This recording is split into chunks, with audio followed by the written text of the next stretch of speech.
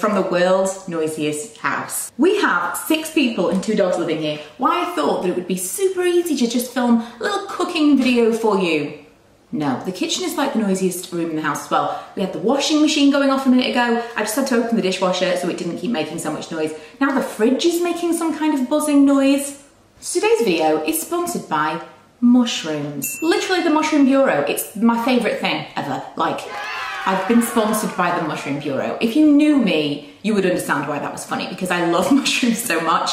My husband's not so much of a fan. He would tell you he doesn't eat mushrooms. He does eat mushrooms, he eats them all the time because I hide them in his food. We're not great at getting in a lot of vegetables in our house, at least within my immediate family. And mushrooms is a really easy way of hiding vegetables in food. I mean, I'm not the best either. I like green beans, I like broccoli, I don't like a lot of vegetables. And so wherever I can get them in, I do. And mushrooms is definitely up there for you. Is one of your five a day, which I keep telling myself because it makes me feel a little bit better.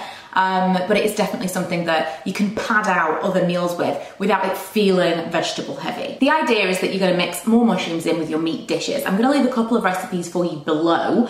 I'm going to be making one of these for you in this video. Spoiler alert, sure you didn't guess that from the title. Not only will it be more affordable, obviously, because meat can be quite expensive, but the meal will also be lower in calories, cholesterol, fat, salt, it's just good all around. It's actually kind of seasonally appropriate as well because my mum makes something she calls mushroom vol au. Would you guys be interested in more cooking videos over the Christmas period? Kind of some baking or some like Christmassy kind of recipes that we use. My mum's recipe, it's basically like a, a steak Diane sauce. It's amazing in a mushroom vol case. It's like my favorite Christmas thing. I don't think it is specifically Christmas, but to me, mushrooms are festive for that reason. But today I'm gonna be making a shepherd's pie. I actually didn't know the difference between a shepherd's pie and a cottage pie and now I do. And if you watch this video, I think you'll see the differences yourself too. Maybe you already knew. I'm not such a chef, I'm more of a baker, which you will see when you see me try and peel potatoes.